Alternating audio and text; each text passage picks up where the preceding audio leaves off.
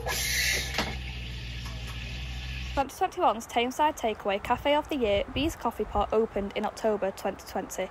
Owners Natalie and Tony Bagley saw a gap in the market for walkers in Mottram during lockdown and opened with just a toaster and a kettle. Now, Bees Coffee Pot is loved by thousands of customers and is a regular pit stop for walkers in the area to get refreshments and enjoy the views of Tameside. Natalie had over 20 years of experience in pharmaceutical sales before she handed in her notice and opened Bees Coffee Pot with her daughter Tony, who is an international model. I've always dreamt of opening a little coffee shop on the farm.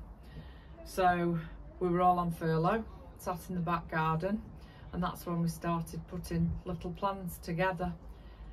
And then I think you've just got to take the leap and just do it. So I handed him a notice. In the first week of opening, the family only made £1, but that quickly changed as the UK entered lockdown and the cafe then saw around 2,000 customers a day as people took up walking more. The customers at Bees Coffee Pot love the location and how dog friendly they are. And I like how dog friendly they were, serving doggy bowls of treats and I think they've got like puppuccinos uh, for people's furry friends. Quite nice. The cafe got the name Bees Coffee Pot from Tony's nickname, which is Bee.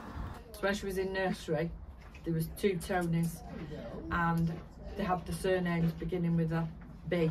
So one was a Bardsley and, and we were a Bagley and the nursery named a bee. We were writing different names down, honey pot, honey bee, and we just went bees coffee pot because these are like little pots, aren't they? Mm. Little wooden pots. So we stuck with that. Erin Parker, University of Salford.